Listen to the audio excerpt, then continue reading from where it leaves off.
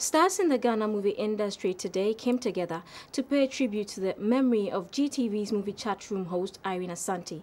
Irene Asante passed away yesterday at the 37 Military Hospital in Accra.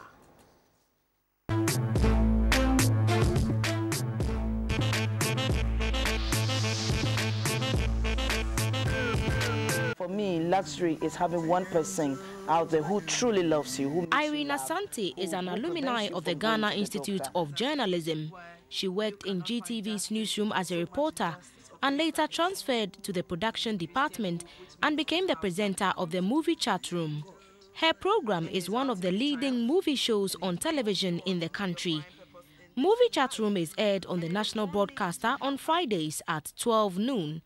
Sadly, Irene was not in her usual seat today since she's no more. But her friends in the movie industry were in GTV's studios earlier today in a show of love. Irene has played her part. She hosted the program so well. She was so lively. Mm. Even when she's even stressed up, as soon as we are about to start the program, she just leave everything and become so hearty and we laugh, we cry. And that is how uh, every artist should be.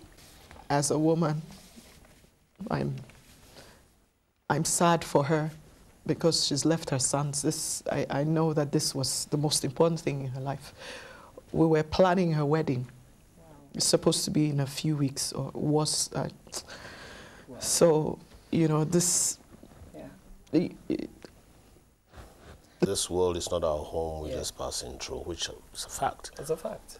So all we need to do as we're passing through is to do what we can do best, and whatever we touch, we must touch it for us to get the gold out of it. Irene played minor movie roles, the last being Leila Djansi's movie titled A Northern Affair in 2013. She was the ex-wife of music producer Edward Osei Hammer of the Last Two Music Group. She left behind two sons.